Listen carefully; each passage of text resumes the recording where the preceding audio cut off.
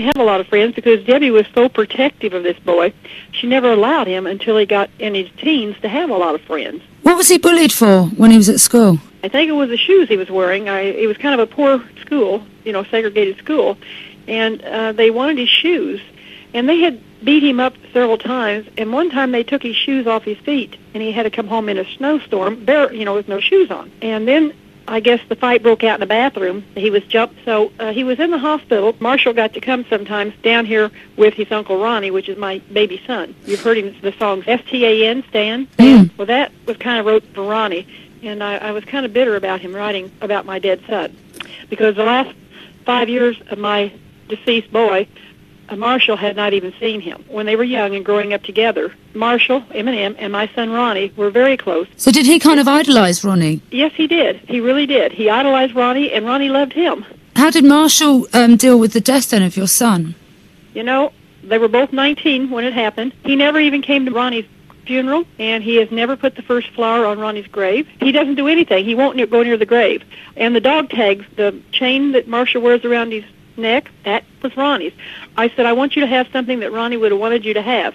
I gave him the dog tag. He makes duplicates. He sells them now. And that really broke my heart. And then Kim. Debbie took Kim in at 12 years old. She was a street kid. Her mother had thrown Kim and her sister out because of uh, her stepfather. Debbie took Kim in because she never had any little girl. Debbie raised Kim as her own daughter. And that's how Marshall met Kim. Just wondering how relationships are between Kim and Marshall now. They have never been good from the day one. They fought like brother and sister. But then all of a sudden it reversed and they became intimate, grow. And I told Debbie, you better watch these two. They were living in a little small apartment. And when Kim got pregnant with little Hailie, Marshall was so busy with all of his, every nickel that boy, he worked and earned what he got the hard way. Nobody gave this boy any money. He worked two jobs. He thumbed to New York. He thumbed to Los Angeles.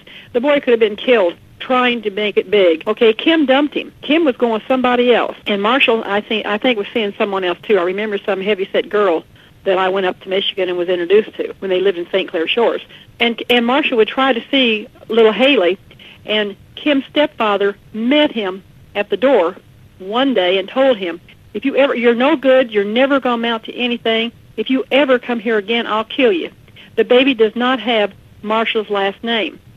The baby was born Hailie Jade Scott. Does she have his name now? No, she does not. She's never. Kim holds that over his head. You know, if she ever leaves him, Marsha could never get custody. Because they very nearly split up last year, didn't they? They really didn't. That's a lie.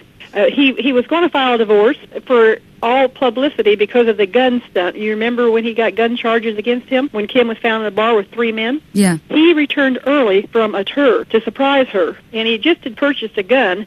It was not a loaded gun because he's had people shoot at him. He has to wear a bulletproof vest in L.A. and some places he goes. He was going to get a permit for this gun.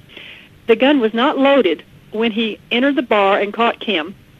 He was so devastated that he pulled the gun. This is over Kim again. Do you think that she was seeing one of them? You know, I think she sees anyone and everyone she can. Uh, at one time after the split up, she was working in a massage parlor. When Marshall made it big, my God, Kim was the first one there telling him how much she missed him, loved him, and Hailie needed him. And because his little girl, he worshipped that little girl. He was right back with her. He's a very forgiving boy.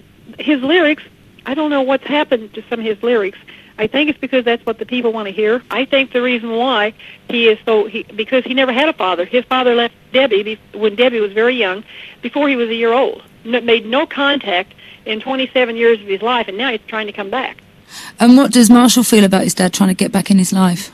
Uh, at first he said no, but now he's forgiven his father. Why do you think he's got homophobic views? Because now what I hear is when he was in Denver, Colorado at one of his concerts, that one of the older gentlemen in the audience wanted to come backstage and see Eminem, and he begged. So my grandson, Eminem, agreed to let him come backstage. And when he did, he grabbed my grandson up and tried to hug him and kiss him and told him he loved him. He's always loved him, and he wanted to go to sleep bed with him. Does he ever talk to you about how difficult it is? He's been angry at me and hasn't spoken to me for the last year. So have you got a message for him in case he hears this interview?